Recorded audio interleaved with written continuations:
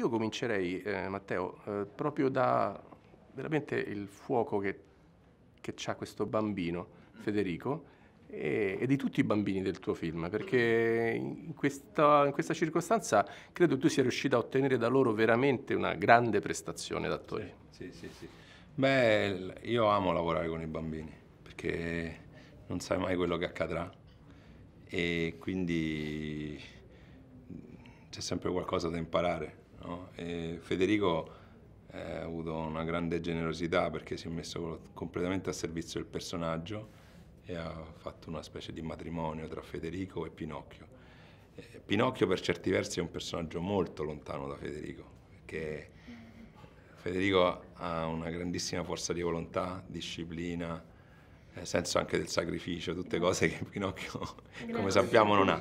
Però anche bambino, è anche un bambino di otto anni, quindi anche un candore, un'ingenuità che in qualche modo lo legano al personaggio di Pinocchio e su cui abbiamo eh, centrato mm, diciamo, la parte più importante della sua interpretazione, no? quel candore, quell'ingenuità, quella parte di purezza eh, che, che il personaggio di Pinocchio ha. Con Roberto invece abbiamo fatto un lavoro di riscoperta anche proprio delle origini de, di Roberto, del mondo contadino. E abbiamo fatto una trasformazione anche fisica, quindi lui ha accettato coraggiosamente di trasformarsi, di cambiare la sua immagine no? per ritornare come indietro nel tempo, indietro, fare un viaggio nel, così, indietro verso i suoi eh, avi. Roberto, a proposito di questo, oltre che agli avi, in qualche maniera anche a Televacca, non so, ecco, in quelle stalle, in quelle ambientazioni. Eh sì, come no, c'è il mondo contadino, quello è proprio l'Ottocento italiano, dove era tutto agricolo, contadino, il rapporto con gli animali, con la povertà, con la semplicità, il fango, il fango gli escrementi, qualsiasi cosa, certo, certo, però no, non in questo Pinocchio, quella Televacca era un'altra cosa, quella era proprio una cosa proprio Invece qui c'è una, una dignità, c'è una pulizia, nel film c'è la povertà, però quella povertà quasi sacra, divina, quella bellissima, la madre di tutte le ricchezze, insomma. Infatti è una povertà che fa avvenire dei miracoli. Eh? Eh, poi eh, c'è un divertimento incredibile, si sente che sta accadendo qualcosa di fiabesco nel film, fin dall'inizio. È come quando si sente una musica intorno, ecco che arriva. Poi in più eh, c'è una colonna sonora mirabile, i costumi e le scene sono straordinari in questo film, gli attori da Ceccherini e Papaleo a Gigi Proietti, insomma è, è, è tutto una, una, una, questa è una cosa insomma che, che, è un film davvero memorabile per tutti, per, per, per, per per i bambini e per i grandi, proprio dagli 8 agli 80 anni sono tutti proprio, è un film meraviglioso rivolto a loro. Roberto, e c'è soprattutto uno che è padre a sua insaputa praticamente, come capita a qualcun altro magari ah, per altre cose, perché sì. questo è un padre a sua insaputa un po' come Giuseppe, no? Eh sì, è il padre più famoso del mondo, lui è San Giuseppe, ma è diventato Geppetto quasi più famoso di San Giuseppe. Tra l'altro Geppetto è la, la, diciamo, è la, la, la contrazione di Giuseppe, quindi è Giuseppino, Geppetto, Giuseppetto, insomma. No?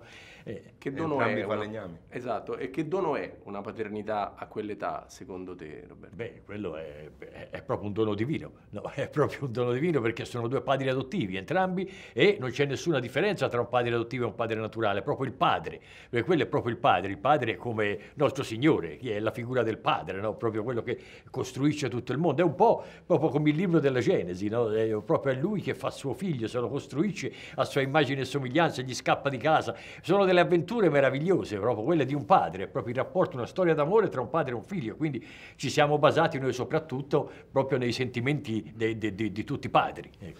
Federico, che, chi è stato più padre, Matteo o Roberto? Beh, allora, sono stati tutti e due dei padri.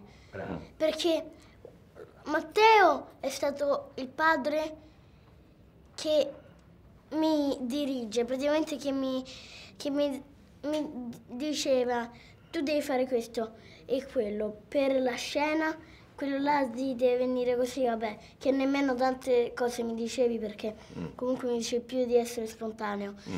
E invece Roberto era più un padre, mm, più un padre padre tipo.